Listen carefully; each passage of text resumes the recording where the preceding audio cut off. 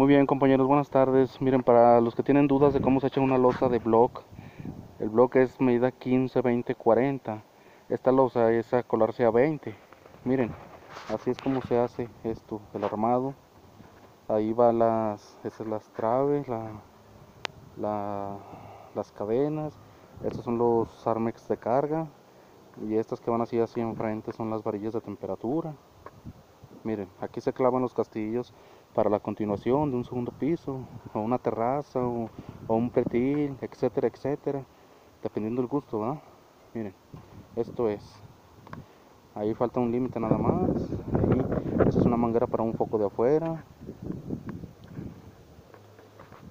Aquí está la otra manguera. Miren, aquí está el block. El block, fíjense bien el acomodo. Fíjense bien, son si se fijan es una raya horizontal y una vertical. Así tiene que ir así es el armado del block. Así es el armado del block. Miren miren. Miren. Miren. Así así es como debe quedar el terminado de una losa. La preparación